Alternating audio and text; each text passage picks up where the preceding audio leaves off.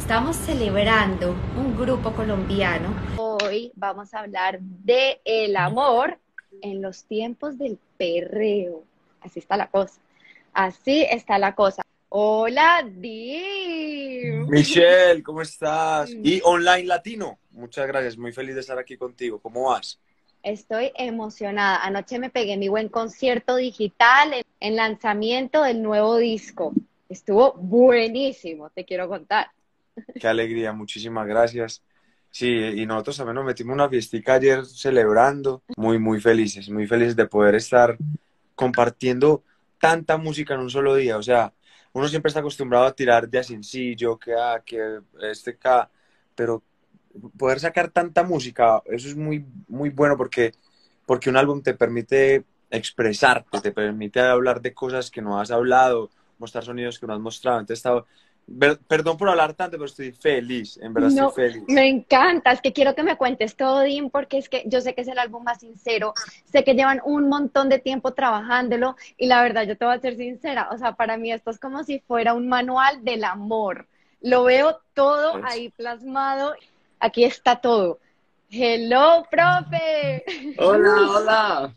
¿Cómo están?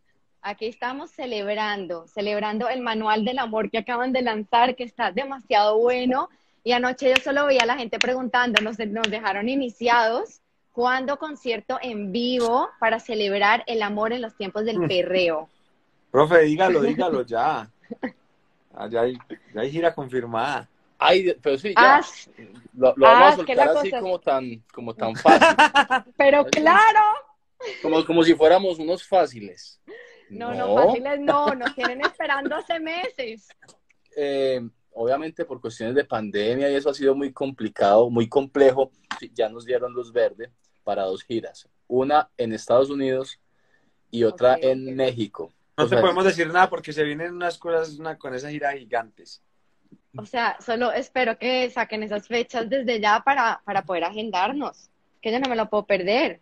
No, no, no, ¿cómo te ocurre? estás andando en Miami? Pasando maluco, mira, mira el panorama, pasando muy maluco por allá. ¿Qué tal? No, pues es una cosa sacrificada, ese tema por acá, ah. ustedes saben. bueno, pero oigan, es que a mí este, oye, hoy llovió cinco minutos y esos solo cinco minutos me cayó el agua encima a mí. Pero yo digo, todo acá es divino. o sea, eso es, tómalo como una bendición. Todos son bendiciones y no lo, como uno lo quiera ver toda la vida. Así es. Exactamente, esa es la actitud. Entonces, bendecida desde acá saludándolos, orgullosa del talento de mi país. Y le estaba yo diciendo, profe Adim, que yo siento que esto es un manual del amor. O sea, de verdad, es que lo encuentras el abanico completo. Cuéntame un poquito sobre todo, todos estos, estas facetas que nos enfrentamos al amor en los tiempos del perreo. Fíjate que el amor en los tiempos del perreo es el resumen de todo lo que uno vive en una relación. O sea, desde la parte más romántica, donde vos conquistás y, y dedicas canciones, hasta la parte más, más, más pasional, porque eso también hace parte de las relaciones, o sea, la parte más sexual, más sensual, pero muy al estilo de Piso 21. Nosotros seguimos, seguimos eh, muy convencidos de, del respeto, el respeto en, nuestras letras, que aunque sea muy perreo, también vos puedas dedicar las canciones. Y es la delgada línea entre eso, entre el amor y el perreo. Eh, por eso el nombre, y creo que es lo que más nos identifica a nosotros después de todos estos 14 años mostrando, mostrando el tipo de letras y canciones que ustedes ya conocen. Pero lo que dijiste es perfecto, es, es el manual de, del amor, o sea, de una relación como tal. Los escuché decir en algún momento que no con cualquiera tienes un hijo, ¿no? Y cada canción de estas es un hijo. Y yo veo tanto talento, Maluma, Mike Towers, eh, Maviland, Black Eyed Peas, Fate, Christian Nodal, bueno, Zion y Lennox, mejor dicho, hay de todo. ¿Cómo eligen las personas con las que van a tener estos hijos? Nosotros nos tenemos que conectar con la gente, nosotros tenemos que sentir esa vibra para hacer canciones. Por eso las canciones cuando las hacemos, digamos, voy a poner ejemplos otra vez, con Maluma, con Christian Nodal, con Black Eyed Peas, las canciones se sienten tan de allá como tan de acá, porque le ponemos el alma y cuando hay esa conexión, creo que es inevitable que, salgan cosas bonitas, sobre todo sinceras y honestas. Entonces, por eso es que que nos gusta hacer música con gente que admiremos y con gente que en verdad creamos que tienen potencial para hacer, para vivir de la música. Acabas de decir, llevas, bueno, llevan 14 años de carrera, que no es cualquier cosa, mm. y así como se tiene una relación con las personas con las que hacen los featurings y las colaboraciones, también se tiene una relación entre ustedes y la mantienen muy bien. ¿Cómo hacen como para mantener esta comunicación y esta armonía para trabajar en equipos? Esto es que esto es un matrimonio realmente, porque nosotros, de hecho, muchas veces en gira compartimos más entre nosotros que con, nuestra, pues, con nuestras familias. Y como toda relación, se tiene que, tiene que hacer mantenimiento eh, de todo aspecto. Es decir, vos nosotros entre nosotros mismos nos, tenemos que admirar, nos tenemos que querer mucho, porque cuando vos querés a alguien y lo vas a ayudar a corregir, no lo vas a hacer eh, de una manera que le vaya a afectar o que lo vaya a herir porque vos lo querés mucho y eso nos pasa a nosotros. Claro que hemos tenido peleas, claro que hemos tenido discusiones, porque es normal, porque vuelvo y lo digo, o sea, uno pelea con la misma familia, eso, es lo más loco. Ahora, ¿cómo uno va a pelear con, alguien totalmente distinto? Pero tenemos tan claro aquí nuestro proyecto de vida, lo que nos ha costado mantener un proyecto como Piso 21, que ninguna pelea vale la pena eh, para poner en riesgo eso. Entonces, Simplemente es cuestión de hablarnos. Cuando no están funcionando las cosas, nos hablamos, nos decimos, mira, hay que corregir esto, ojo con esto, pero así también nos decimos las cosas bonitas, las cosas bien, eh, buenas, que nos queremos y que, y, que vos estás haciendo muy bien esto, que te ves muy bien. Y, y, ya, o sea, punto. Simplemente la comunicación creo que es la base no solamente de nuestra relación, sino de todas las relaciones que existan. Siento que la tienen como muy clara, ¿no? Todo el tema de las relaciones. Entonces, como la tienen tan clara, necesito Eso no que crees, es, bueno, lo, trabajan muy bien. Yo que me cuenten cómo están viendo el tema del amor este 2021, porque acabamos de salir de un año bastante complicado. Yo creo que el amor no tiene ni, ni edad, ni tiempo, ni espacio, nada. Yo creo que el amor es el amor y el amor se respeta. El amor es, para mí, para mí, mi filosofía de vida es que ese es el, el otro pilar que mueve el mundo, el amor. Entonces, sí, pasamos por un momento difícil. Eh, personalmente creo que todos estamos en una época muy bonita en nuestros corazones de amor, pero cuando tú, digamos que en este momento ah, tenemos un, eh, damos, una, damos un álbum al mundo, damos nuestro, nuestro, lo mejor de nosotros, creo que estamos en una época increíble, en una época que estamos pasando por, por un momento en el que la humanidad se sacudió, que para muchos ha sido difícil, que para muchos trajo tragedia en familias, pero que también nos abrió los ojos para darnos cuenta de muchas cosas. Por ejemplo, nosotros llevamos un año sin, viajar, sin girar, sin cantar en vivo, y eso nos ha servido para, para conectarnos con nuestras familias, para darnos tiempo con nuestros hijos, para, para poder componer, pero también para darnos cuenta que ahí es nuestro lugar, eso es a eso vinimos a dar un mensaje, a decirle a la gente,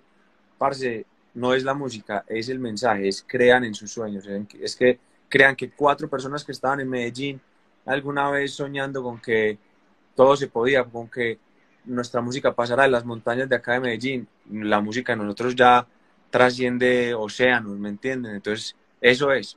Pero Dim, tú siempre has dicho eso, ¿no? Que, que a los momentos difíciles se les aprende, se les pone buena cara, mejores tiempos siempre vendrán. ¿Cuál ha sido el mejor consejo, y me encanta siempre preguntar esto, que a ti te han dado en la vida?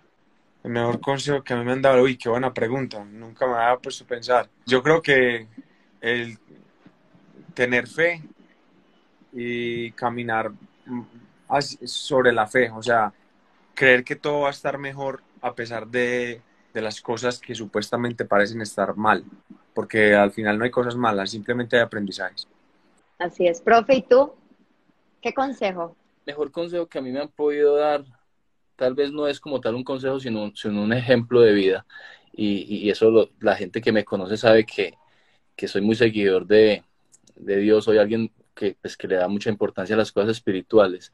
Y pienso que si vos tenés como norte un, como, como, como, como unas bases en tu fe muy fuertes, todo va a salir bien y hasta las cosas que no salen como tú quieres van a ser de provecho y las vas a entender porque va a ser lo mejor para ti y eso ha sido lo mejor para Piso 21. Cada vez que se nos han cerrado las puertas, que en otras ocasiones uno dice como, no, pero que por qué, nosotros entendemos que si, si, se cierran las puertas es por algo y siempre vienen puertas más grandes y más grandes, porque no es como yo quiero, es como, como Dios quiere y, y sé que Él tiene un plan trazado para cada uno. Ese tal vez mm, más que un consejo que me han dado es algo que he aprendido y es un consejo que sí lo doy a todo el mundo, a, los que nos están escuchando acá, que pongan de primero a Dios en sus, en sus pasos, en sus decisiones y todo el resto, absolutamente todo el resto, déjenlo en, en, en manos de Él y, y, ya Él se va a encargar, pero dejarlo en manos de Él es realmente dejarlo y confiar y confiar que sea lo que sea y pase lo que pase, va a ser lo mejor para cada uno de nosotros. Nunca supe quién fue el que se tatuó el amor en los tiempos del perreo. Bueno, yo no vi ayer, ese tatuaje. O sea, te, voy decir, te voy a decir algo. Hasta ayer, o sea, el de la portada, el de esta portada, soy Exacto. yo. Pero, no, ok. Sí, pero ayer hicimos la, una fiesta y había, y había para tatuar y todo. Mira, este es el, el original, ¿sí o qué? O sea, Wow. está nuevecito, el de abajo. Recién salió del horno, ajá. Exacto. Pero, hey, profe, ¿vos sí te lo hiciste o no? Cuando llegué a sentarme, ya habían cerrado eso, entonces quedé que Yo- le caía No. esta semana a Yo vi. Juanita. No.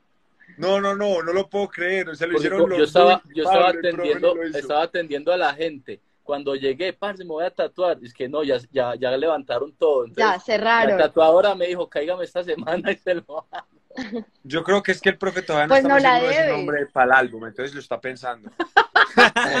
A ver si, a ver si Pero lo logro me- cambiar de aquí a unos Ah. meses. Bueno, A no, cuento le falta un pedazo. Nadie- Anotado. Pero, profe, bueno, yo sé que te lo vas a tener que hacer tarde o temprano Sí, porque aquí la sí, presión mira, mira está que yo, no, sabes que eso, obviamente, pues, lo más seguro es que sean en, en el bra, en al- alguno de los dos brazos, pero no sé en qué parte. Me O en parece la bueno. nalga, algo así bien, Pues- bien Pues, agresivo. ¿por qué no? Pues, ¿por qué no? Después del la 2020 ingle. se vale. Ya, ay, mostrame el tatuaje, ya, claro, mi amor, tin, tome. Ya. Muy sexy. Anotado, eso va para el manual del amor. Oigan, lo máximo. Entonces, quedó pendiente dos cosas, del concierto y quedó pendiente del tatuaje del profe. Ahí verán. Ah, Eso. no, ya, eso no Las pasa dos, esta cosas, semana. las dos cosas se van a hacer este año. Bueno, me encanta verlos. Los despido porque voy a invitar a Pablo. Y Ah, sí, porque Los pues, dejamos si no, cuota más hermosa de piso 21, ahí los dejamos. les. Muchas, gracias por todo, de verdad. Te mandamos un abrazo grande a toda la gente que se conecte con el amor en los tiempos del perreo. Los amamos. Bendiciones y estamos hablando. Muchos Dios éxitos. bendiga. Besitos a todos, chao. Bueno, vamos a tener a Pablo, que además ya veo que está haciendo una votación para. Pa- ¡Ey, Pablito! Yo quiero empezar ¿Cómo esta entrevista diciendo que quienes votamos porque el tatuaje del profe sí sea en la nalga. Yo. Yo sí. Yo te vi ahí haciendo barra. Pues, pues venga, ¿por qué no? Yo Pero- voto también. Sería demasiado épico. Uh, Ey, aquí- Lordo. ¿Cómo estás? ¿Todo bien? Oigan, este grupo tiene mucho flow. Qué cosa tan impresionante. ¿Cómo estás? Muy bien, y los quiero felicitar a los dos por este álbum tan esperado, Lordu, además que es tu primer álbum con Piso Así es. 21, así que felicitaciones doble para ti. Cuéntame No, cómo te sientes. No, increíble, increíble. Yo desde que entré a Piso 21, la energía se sentía desde el principio. Eh, yo ya llevaba pues como una, una, una amistad con ellos hace rato, como desde 2012, 2013 aproximadamente. Entonces ya había mucho feeling a la hora de hacer música, a la hora de reunirnos. Contento, muy feliz. Mi, mi primer álbum como a nivel pues como, como carrera, ¿me entiendes? Y en Piso 21 ya es el tercero, entonces demasiado afortunado y agradecido. Bueno, Gracias. ¿y tú? Tú mucho tatuaje en la nalga y yo no veo tu tatuaje. ¿Dónde No. está? Ah, el mío. En el escote. Ay, espectacular. Y si yo les pido a ustedes que me canten así como un pedacito, porque estamos de lanzamiento, viernes, me cantarían un pedacito. ¿De una de cuál canción? Lordu, ¿tienes tan bonita el sencillo coro o qué? Tan bonita. Dice pues, tan bonita como tú, tan bonita y sola, estás como pa' meter, pa' meter cora. Estoy como un déjà vu, yo te he visto por lado, caminando sola, no me explico cómo. Tan bonita como tú. Ahí está. Solito. La medica, bebé. Venga, para aquí tengamos una cita. Cita. Una en el que me visita. Eres pa' bendita. No medita. De Ave María, pues la gana se me quita. De toda la machimbita. Y ya está ahí. Me encanta. Oigan, ustedes escribieron un manual del amor. O sea, aquí lo encuentran en este álbum todo, todas las facetas del amor. De todas estas facetas, ¿cuál es la que más les inspira a ustedes? La tusa, el perreo, el desamor. No, todas. Es que, ¿cómo le vas a quitar al amor un- uno de las facetas? El amor, el amor hay veces es tierno, el amor hay veces es pasional, hay veces es sexo, hay veces es tristeza, hay veces es sufrir, hay veces dependencia, que ese es el tóxico, pero también existe. Entonces yo creo que, que todos vamos aprendiendo de, de haber pasado por todas esas etapas. Ya que no estamos niños, yo creo que ya Profe. Nos tocaron todas.